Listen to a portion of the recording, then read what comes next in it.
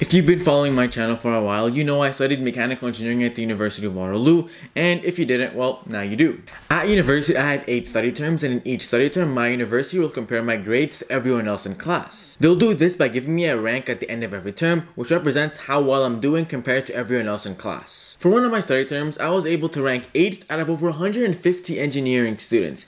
Now, I'm not saying this to flex, but in this video, I'm going to share with you how I was able to do that by sharing 8 tips with you. But before getting into it, realize that you shouldn't base your happiness on your rank because you're worth more than just a number. Just try your best to understand the concepts and work on improving yourself over time. Don't be like this guy.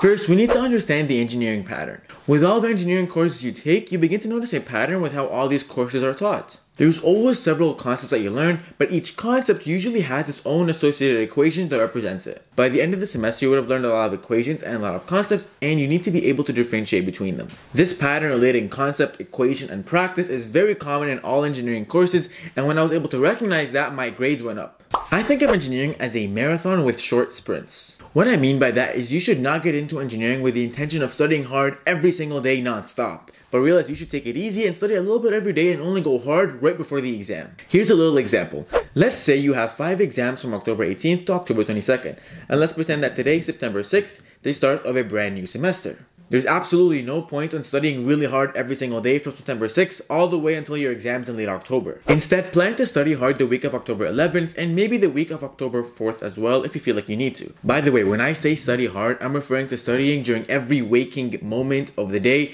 except for the times where you're eating or attending mandatory class of course. When you're studying hard, this is what your daily schedule will look like. If it's a day with classes and it's within a week of one of my exams, this is what my schedule would look like, totaling about 8 hours of studying per day, really just only making time for food and some unwinding at the end of the day or maybe a quick workout. But if it's a day without classes, this is what my schedule would look like, totaling about 12 hours of studying per day.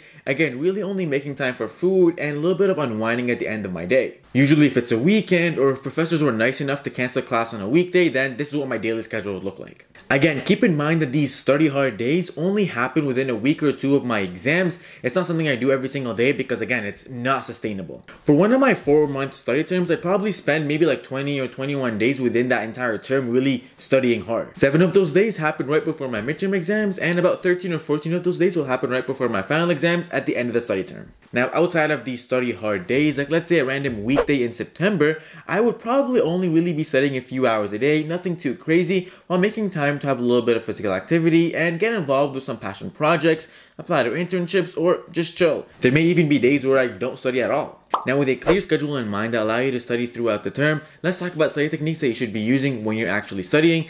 Now there's a bunch of study techniques I've talked about in the past, but there are two main ones I'm going to briefly highlight in this video, and they're active recall and spaced repetition. Active recall is a specific process of remembering information. Instead of just rereading the textbook or rewriting your notes, you should close your eyes and try to recall information from memory without looking it up online or in your notes. If you can successfully remember what it is you're trying to remember, then you use active recall. If not, that's fine, just look it up, learn it, and try again. The reason this is so effective is because it converts information from your short-term memory to your long-term memory. The second study technique is spaced repetition, and when you implement it, you forget less over time. Basically, space out the review of certain concepts to be every two or three days or so, instead of just reviewing it once and then forgetting all about it. That way, over time, your memory looks like the green curve instead of the red curve. The fourth thing I do is I would never actually study on the day of my midterms or my exams, and this is just something I did because that's what worked for me. But what I found is if I were to do intense studying on the day of my exam, I'll tend to come across a new concept that confuses me or a new problem that I'm not able to solve. When that happens, I'll usually not have enough time to figure it out before my exam, which then sends me in panic mode and I get really stressed which is the last thing you want to be feeling before an exam. Before an exam, you want to feel chill, calm, and collected. So usually what I do on the day of my exams is take it easy, just review my notes, and that's it. Usually when studying, I'll create cheat sheets that summarize all the concepts and equations that I learned throughout the semester, and I'll combine them all into this one piece of paper, and I'll make sure to review that the day of the exam. And if you want to learn a little bit on how to make your own cheat sheets, check out this video. But yeah, on the day of the exam, I wouldn't try solving any new concepts or reviewing any new material. Again, this is just something that I did that helped me feel calm and relaxed before my exam. It worked for me. It doesn't necessarily have to work for you, but you should give it a shot. A huge thing that helped me was having weekly appointments with my professors and my TAs where I would go over questions that I had about stuff that was taught earlier that week. I'm basically getting one-on-one help from them, which helped me understand the material better. Obviously, setting up these meetings and actually going to them takes a lot of time and patience. I didn't do it every term, but the terms that I did it were the ones where I ranked the highest and got the highest grades. Now, there isn't a lot of memorization in engineering, but there's still a little bit of memorization that's required. For that reason, using memory techniques is really important, especially mnemonics. A very common example of mnemonics is BEDMAS, the operational steps of doing math. They help a lot when it comes to memorizing things, so make sure to use them, especially if you have to memorize equations for some exams. So far, the tips I gave were related to scheduling and studying, but let's talk about what you can do during the actual exam to score as high as you can. First, most normal professors try to test you on all the material that was taught on the course.